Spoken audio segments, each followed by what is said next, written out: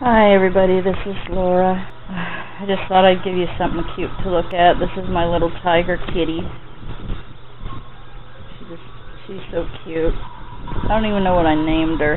I guess Tiger. And this here is Wilbur Babe Milford or what's another famous pig? Porky, I guess. I don't know, but I call him Wilbur.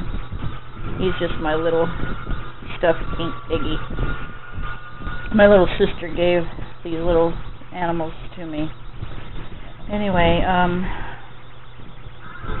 I'm thinking I'm, I'm going to try to talk and see if I can figure out my own health history going on. When I was 11, or before I was 11, I was a pretty healthy kid. I was real thin and able to run relay races in the fifth grade. I used to win um, second and third place ribbons, maybe a first place ribbon every now and then. But I remember uh, around the age of 11 or fifth grade, I, I started to cough when I ran. And that was the first thing that I noticed going wrong with my health. Um, now, nothing else happened that I know of until the summer of 1986, the 4th of July. I I was up in Stockton visiting uh, my cousins and, and my uncle and aunt, and there's a man-made lake in the city of Lodi, California, and um, they had this huge, awesome Fourth of July party, barbecuing, fireworks, the whole works. And I went to this, you know, to to this lake with my family, and we swam a lot, just hours and hours, from maybe like noon to past sunset. And I went under the water several times. I might have even accidentally, you know, swallowed water or gotten it into my mouth.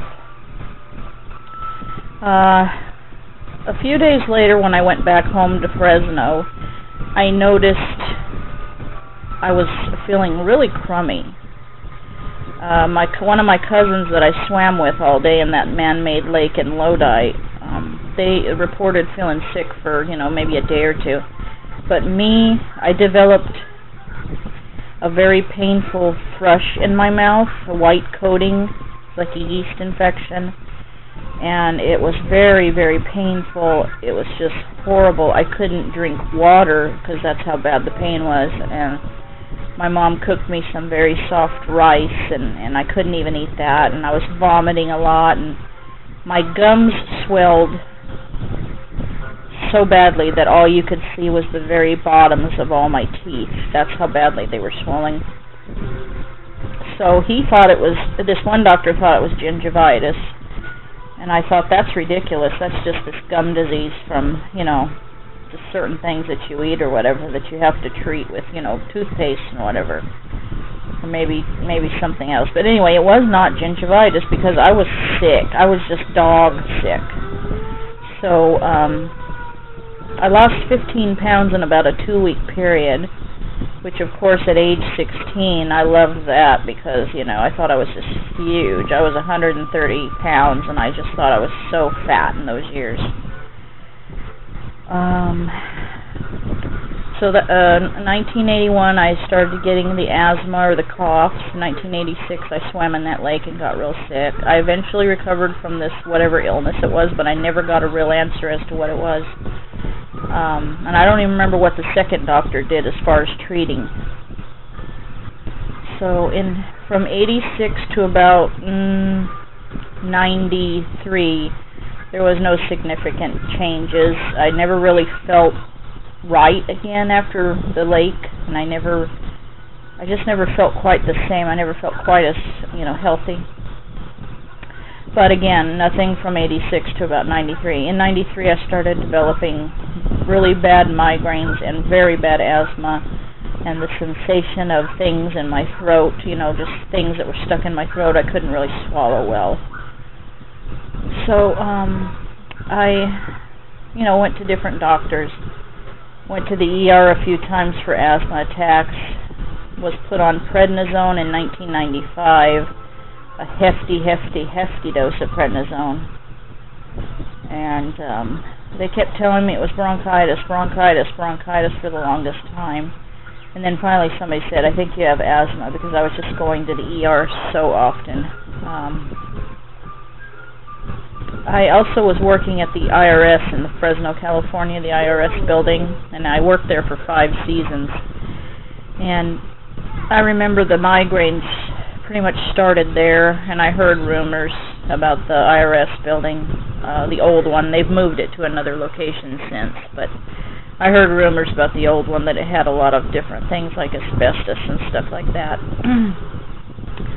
so anyway, um in 93 I became really sick with the asthma and the migraine headaches and the prednisone they put me on um did absolutely nothing for the asthma. Did not relieve the symptoms at all all it did was give me a lot of side effects. I developed a moon, a moon kind of a face, kind of round face with barely any neck. I developed um almost looked like a goiter, you know, kind of, my face was just really round and really uh droopy looking, kind of just everything looked sickly. It was Cushing's type whatever, you know, Cushing's disease from the prednisone. Um I began to gain weight really badly about this same time. I became very ill in July of two, um, 1995 uh, with pneumonia, and then shortly after I sort of got over that, I moved to Stockton from Fresno. I had spent 25 years in Fresno, and in 1995 I finally moved out of Fresno and I went to Stockton. And um when I got to Stockton, it was like a I had this new I had a very new lease on life. I had been feeling so poorly and so ill for so many years. So moving to Stockton uh, to live with my mom, it was just a real. I was so full of joy the first few years, and I, you know, went to school. I became a nurse. Um, I had already been a caretaker. I became a CNA, which is a nurse's assistant, and I also uh, went on to become an RN, and I graduated uh, from college in the year 2000. Um, later on, uh, I noticed more gait, weight, weight gain, and I, I noticed some unexplained falls. Uh, one time while I was working in Stockton at the job I loved, there was one job out of all of them that I just absolutely loved, and that was the one in Stockton. I uh, was running around with some red blood cells getting ready to give a man a transfusion, and I was, you know, really running around getting the paperwork ready and stuff, and suddenly my right ankle collapsed out from under me. And then I had another couple incidents very similar to that on the job. Um, and there was one time where I fell just trying to get into my car to go to work, and I ended up in the ER in my own hospital that I worked at. Eventually, my mom and I moved away from Stockton. Um, my my grandma was having health problems, and we moved to the town of Yuba City. And then shortly after that, maybe a year later, we decided we wanted to live in the foothills, so we lived in Grass Valley. While we were in Yuba City, around the year 2003, I had this episode of palpitations in my chest and I couldn't couldn't understand what was going on. My legs began to swell, and I never did shake that. I I began to have this chronic problem with swollen legs and you know different things, and I swollen legs mainly, and and the the palpitations and some mild mild chest pain. I just kind of figured, oh, it's nothing. It's just you know, maybe it's just stress or something, and maybe I'm eating too much salt. So I ignored that, and then we moved to Grass Valley, and I had a several episodes of something that I was just flabbergasted by.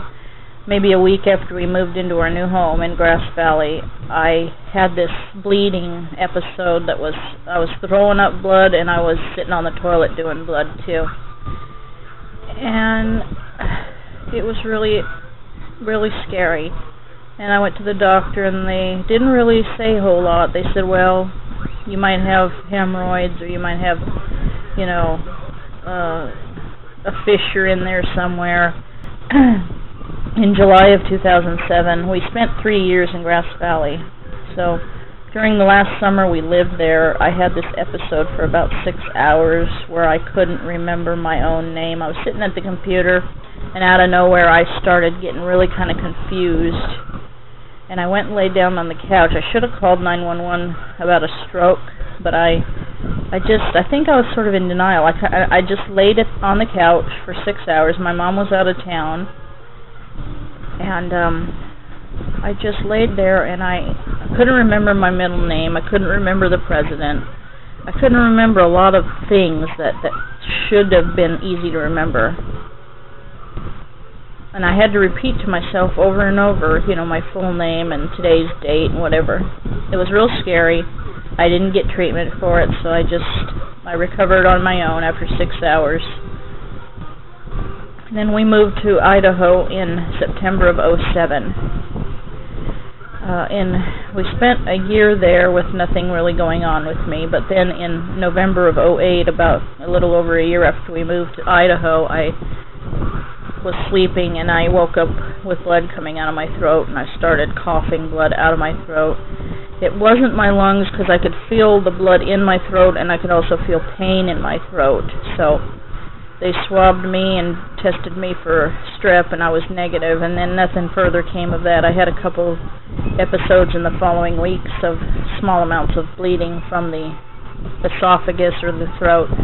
I knew it wasn't my lungs and I knew it wasn't a nosebleed. You know how nosebleeds back up and you spit out blood. It wasn't anything like that. It was just strictly my my my throat. So, um in 2009, I fell at an, a hospice patient's house and hurt both of my kneecaps and hurt both of my shoulders trying to stop myself from falling. And uh, the pain after that accident was so great that I quit my job and I never have since that day it was like May of 2009 I have not practiced any kind of nursing after I lost my job and lost my livelihood as a registered nurse, I I tried I tried to stick it out for a year after that, borrowing money from relatives, all all kinds of stuff, and I just couldn't couldn't keep doing that. So I came to Fresno again to live here for a while in Fresno, and every so often I go back to Idaho on the Greyhound or on a plane and I uh also whenever I want to really get away I go to the to the ocean. I love the ocean. It's my favorite thing in the world. So I came to Fresno in April of 2010 to try to establish some kind of answers for these health things that have been going on. And I felt pretty good the first maybe year I was li living here, almost full time. I moved here to Fresno around my dad's house in um, April of 10. I had already uh, been talking about how I was bleeding abnormally in through my GI tract, and they did a colonoscopy and they did remove uh, a re really huge polyp in my colon. They also found a nodule on my stomach and a really terrible esophageal um, inflammation which probably caused the bleeding, they said. But after I had those tests done, they just gave me a new prescription for my GERD, and they told me to come back three years uh, from from then, three years to come do another colonoscopy. I'm due I'm due this year for a new one. And then nothing more happened until uh, October of 2011. I had some very frightening, very hard chest pain all over my chest. Like it started from the right side and it went to the left. I had that one night, and then the next night I just had a small episode with the left left side of my chest. so that's when I found out that I might have congestive heart failure, and that's why my legs have been swollen. I I just uh he gave me these pills to dissolve under my tongue and he gave me some good new blood pressure pills and he gave me some diuretic and worked for a long time and everything was okay. I mean, I had a heart failure, but a lot of people have it, especially in my family. All of my um on both sides of my family, there's a lot of heart disease. So, uh I've been going along, you know, treating, you know, managing my symptoms with the heart disease. But I begin to develop really bad abdominal uh, swelling and really bad abdominal pain. Um, not only a constant tender pain where you know, all I have to do is lean up against the counter to do the dishes and it hurts and and I I started to get these jabs the right side of my abdomen about 3 or 4 weeks ago. I had episodes of fluid in my lungs. I'd wake up and my lungs were just full, especially my left lung. And I'd sit up and it'd go away and I thought, well, maybe it's uh, asthma, maybe it's just the heart failure it got to where it was happening every morning, every morning, um, waking up feeling like I'm drowning. So, and then on top of all that, I've had so many doctors calling me a malingerer or a liar or a hypochondriac or I just don't want to work for a living, I don't want to produce and all that stuff. So I got really angry when it started happening more often, you know, all this bronchitis, you know, all these different things that they were telling me, these minor things. You have asthma, take some more prednisone. Oh, you just have bronchitis even though you're coughing up blood. It's just really, really sad. The little things that they just they just come up with these redundant uh, diagnoses trying to just get you out of their hair. take this lousy little antibiotic and go home. Anyway, um, when I began to wake up every single morning feeling like I was drowning, and then having increased chest pain, increased abdominal pain, I said, the heck with my doctors that are six miles away, and the heck with that hospital that's only four miles away. I'm going another 20 miles to Fresno in the city, and, and I'm I'm going to go and get this taken care of. I don't know what's going on, but I'm going. So I did go uh, last Tuesday, the 11th, and I was very out of breath. Uh, the littlest things get me out of breath now. Just sitting here talking is getting me out of breath. So, I went there and they put oxygen on me and they uh took me and did a, an ultrasound in my right leg which had been swelling around the knee and the ankle to try to see if I had a blood clot because they were concerned that I not only couldn't breathe but that my legs was really swollen. Well, the there's no clot according to them. They did a real good scan on it and there was no clot. So then they did the CT scan of my chest, you know, which covers the lungs, the heart, uh and probably part of the liver. And it also takes pic uh, you know that same CT will cover, you know, your esophagus too. It covers that area. Anything from your chin to your, you know, belly button, that's what a chest CT uh sees. So what they found was a suspicious mass in the left lung. They found another mass in the left breast tissue, which I had been hurting real bad on my left side for a while. Interrupted, my battery suddenly ran out. Anyway, um, so they found a, a mass on the left breast, a mass in the left side of my chest, another mass in the lining around my heart they found some very, very suspicious uh, inflammation in my uh, esophagus. They also found that I have an enlarged heart, and I also have thickened lung linings, whatever that is. And they also said that you're, I have definitely uh, worsened with my CHF, and I might even have ascites, which is the abdominal fluid that's built up. He gave me one new diuretic, no, yeah, one new diuretic to use with my Lasix, and he also gave me more pain medicine and two more blood pressure pills. I am on three different blood pressure medicines and two diuretics, and he um, reminded me that that salt intake had to be modified, you know, quite a bit. Um, so anyway, what I'm saying is now I, I'm a little suspicious that I have either an autoimmune disease that's attacking all my major organs or I have cancer. I'm not really sure. Um, I have a dry cough. Every so often it's productive, but not very often. And I have chest pain when I cough. And Okay, so this battery is driving me nuts. Um, just wanted to say that uh, I'm not real sure what's going on, but I'm gonna start doing updates on my health history. Um, I'm hoping it's not cancer. My mom, my mom was just diagnosed with PMR, which is a immune system disease, autoimmune, I mean. Anyway, so I think I'll close since the batteries aren't letting me talk. Um, I think I'm gonna just do a vlog about my health for a little while until I have some solid answers.